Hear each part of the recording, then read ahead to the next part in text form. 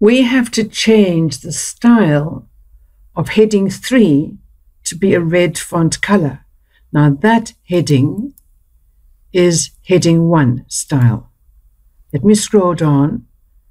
That heading is normal style. That is normal style. That heading is heading 2 style. This is probably heading 3 style. Yes, it is. Now to modify this, I'm going to right click here, modify. And this must be red. Correct. Now I have to create a new style and I have to apply it to a number of headings and this is one of them. I'm putting my cursor there.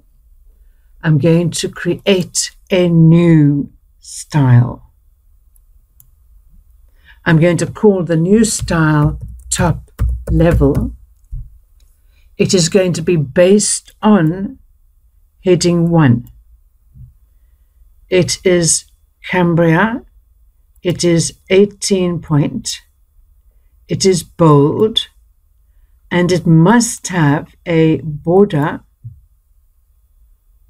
a paragraph border, lower paragraph border. Okay. Let me close this. Now I have to apply the style to three other headings. There, apply it. Let me scroll down, down. I must apply it to snake facts.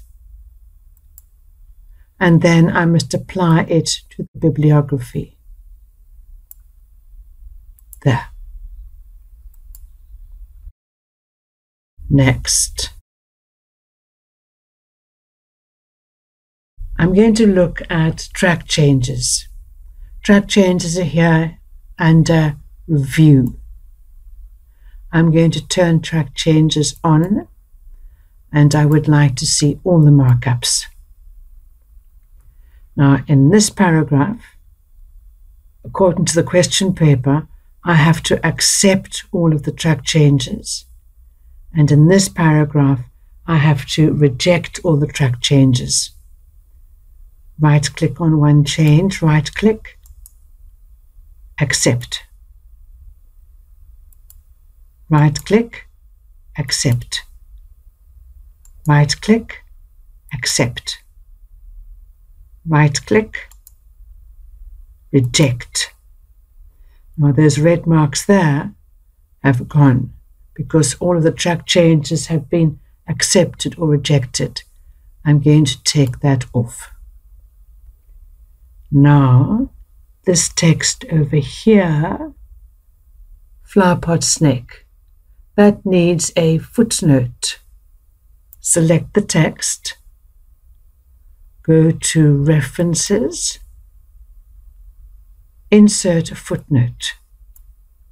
Footnote is at the bottom the footnote must say, often mistaken for earthworms.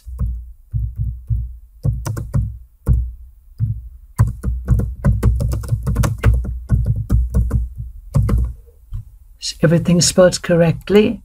It is now. Notice that it has a 1 there. And if we scroll up to the text, it has a 1 there. Now, this text must be moved into this block.